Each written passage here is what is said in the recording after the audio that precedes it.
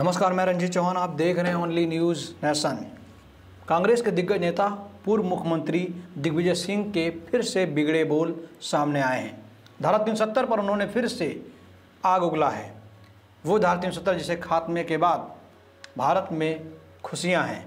सेना खुश है, आवाम खुश है, कश्मीर के लोग खुश हैं, क्योंकि कश्मीर में आतंकवाद पर नकेल कसी गई है। उस धारा तीन के दोबारा बहाली पर दिग्विजय सिंह ने बड़ा कांड कर दिया है। धारा तीन सत्तर के खात्मे पर सबसे ज़्यादा दुखी अगर कोई है तो वो है पाकिस्तान। में हुआ मुफ्ती फारूक अब्दुल्ला अलगावादी और कांग्रेस के नेता। जिस जिस जितना दुख पाकिस्तान को हो रहा है, उतना दुख आज दिग्विजय सिंह को हो रहा है। आखिर वजह क्या है? आखिर इसके पीछे की वजह क्या है? चलिए हम वीडियो में आपको दिखाने जा रहे हैं। आपसे अनुरोध करते हैं कि इस खबर को आप अधिक से अधिक ज़रूर शेयर करें। बीजेपी की तमाम आलोचनाओं के बाद भी दिग्विजय सिंह आर्टिकल 370 पर बयान देने से बाज नहीं आ रहे हैं। शुक्रवार को उन्होंने एक बार फिर जम्मू कश्मीर से आर्टिकल 370 समाप्त करने को लेकर पीएम नरेंद्र मोदी पर निशाना साधा है।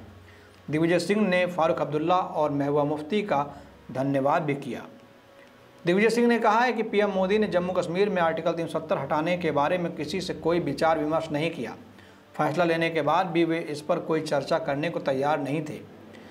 दिग्गी ने यह भी कहा कि फारूक अब्दुल्ला और महबूबा मुफ्ती के साथ कश्मीर के सभी लोग कह रहे हैं कि हम तीन सौ सत्तर के बिना नहीं मानेंगे।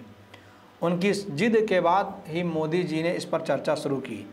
दिग्विजय सिंह ने इसके लिए कश्मीरी नेताओं और वहाँ के लोगों को धन्यवाद दिया। दिग्विजय सिंह का कहना है कि धारा तीन खत्म करने से पहले कश्मीरी नेताओं से, दिग्विजय सिंह से राहुल गांधी से पूछना चाहिए था, ताकि ये लोग बड़ा बवाल कर सकें और धारा तीन सत्तर के खात्मे में रोड़ा बन सकें।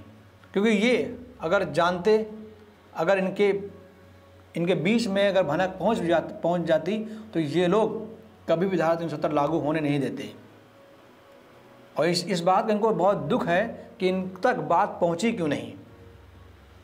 कैसे एक सीक्रेट तरीके से अमित शाह ने बड़ा मास्टर स्ट्रोक खेल दिया और हिंदुस्तान के तमाम विपक्ष के नेता देखते रह गए। ये वही दिग्विजय सिंह हैं जो इससे पहले कह चुके हैं कि जब उनकी सरकार आएगी तो धारा तीन सत्तर को दोबारा वो बहाल कर देंगे। करीब तीन सप्ताह पहले क्लब हाउस चैट में दिग्विजय सिंह ने कहा था कि कांग्रेस सत्ता में लौटी तो आर्टिकल तीन सत्तर की दोबारा बहाली पर विचार किया जाएगा। उनका बयान आते ही बीजेपी बीजेपी नेताओं ने उनकी आलोचना शुरू कर दी। एमपी के सीएम शिवराज सिंह चौहान ने उन्हें तालिबानी दिमाग करार दिया। तो बीजेपी के राष्ट्रीय महासचिव कैलाश विजयवर्गीय ने कहा कि दिग्विजय सिंह के संपर्कों की एनआईए से जाँच कराई जानी चाहिए। आलोचनाओं के बाद दिग्विजय सिंह ने कहा कि उनके बयान को तोड़ मरोड़ कर पेश किया गया है। उन्होंने इस मामले में ट्विटर को नोटिस भी भेजा, लेकिन इस मुद्दे पर बयान देना नहीं छोड़ा। पीएम ने कश्मीर मुद्दे पर सर्वदलीय बैठक बुलाई। तो उन्होंने कह दिया कि मोदी फैसला पहले लेते हैं, सोचते बाद में हैं।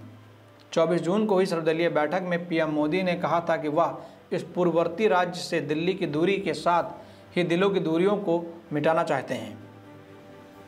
पीएम ने कहा कि राजनीतिक मतभेद हो सकते हैं, लेकिन सभी को राष्ट्रहित में काम करना चाहिए ताकि प्रदेश की जनता को इसका फ़ायदा मिल सके। बैठक में केंद्रीय गृह मंत्री अमित शाह, राष्ट्रीय सुरक्षा सलाहकार अजीत डोभाल, नेशनल कॉन्फ्रेंस के फारूक अब्दुल्ला, उनके पुत्र Omar Abdullah, peoples democratic party PDP की महबूबा मुफ्ती और कांग्रेस के वरिष्ठ नेता गुलाम नबी आज़ाद सहित चार पूर्व मुख्यमंत्रियों ने हिस्सा लिया था। बैठक का मुख्य मुद्दा केंद्र शासित प्रदेश में लोकतांत्रिक प्रक्रिया को मज़बूत करना था और प्रधानमंत्री ने सभी राजनीतिक दलों को आश्वस्त किया कि केंद्र सरकार जम्मू कश्मीर में इसकी बहाली को लेकर प्रतिबद्ध है। देगी के ताज़ा बयान से एक बार फिर सियासी सरगर्मियाँ बढ़ सकती हैं। देखना यह है कि बीजेपी नेता अब इस पर क्या प्रतिक्रिया देते हैं। खास बात यह है कि इससे पहले भी दिग्विजय सिंह ने कहा था कि जब उनकी सरकार आएगी तो वो इसकी बहाली, तीन धारा तीन सत्तर की बहाली पर विचार करेंगे।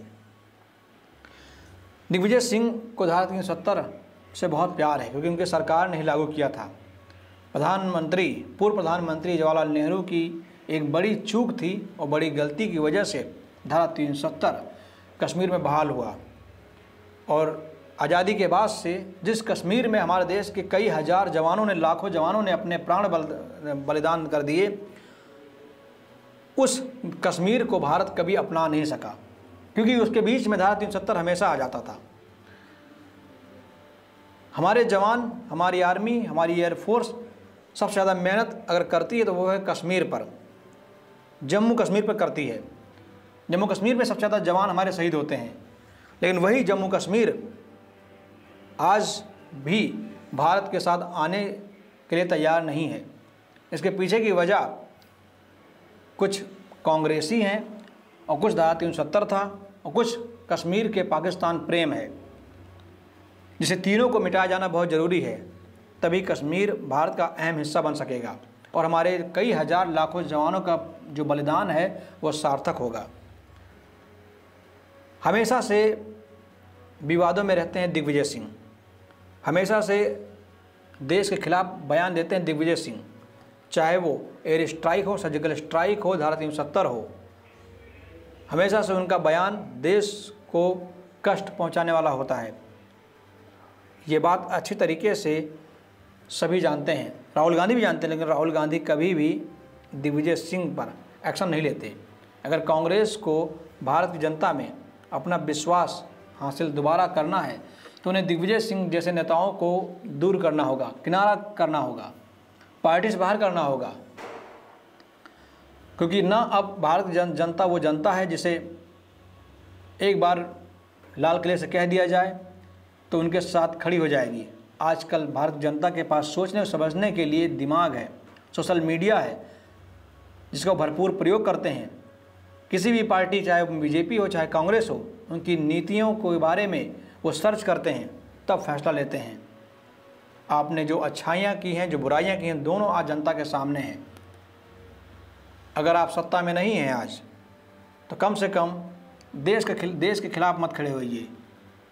सत्ता में नहीं है तो जनता के बीच में अपनी पकड़ बनाइए, पहुँच बनाइए। ऐसा नहीं कि आप जनता के बीच में पहुँच बनाने के लिए और कुछ चंद लोगों को खुश करने के लिए, कुछ विशेष धर्म के लोगों को खुश करने के लिए, कुछ अलगावादियों को खुश करने के लिए आप देश के खिलाफ खड़े हो जाएँ। यही नतीजा है कि आज कांग्रेस पूरे देश में सिमरती चली जा रही है। जहाँ जहाँ सरकार है वहाँ वहाँ से भी उसका वर्चस्व खत्म होता जा रहा है। और जहाँ जहाँ सरकार है, मान लीजिए तो वहाँ पर कांग्रेस का जादू नहीं चल रहा है, बल्कि वहाँ के लोकल नेताओं का जादू चल रहा है। चाहे वो पंजाब हो, पंजाब में कांग्रेस के दम पर सरकार नहीं बनती, बल्कि वहाँ पर कैप्टन अमरिंदर सिंह का जादू चलता है।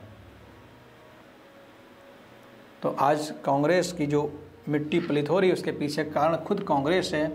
कांग्रेस को ऐसे दिग्विजय सिंह जैसे नेताओं को पार्टी से बाहर कर देंगे, तभी कांग्रेस में लोगों का विश्वास फिर से दोबारा जगेगा। तो आपसे मेरा अनुरोध है कि आप अपनी राय कमेंट बॉक्स में दें। बहुत बहुत धन्यवाद।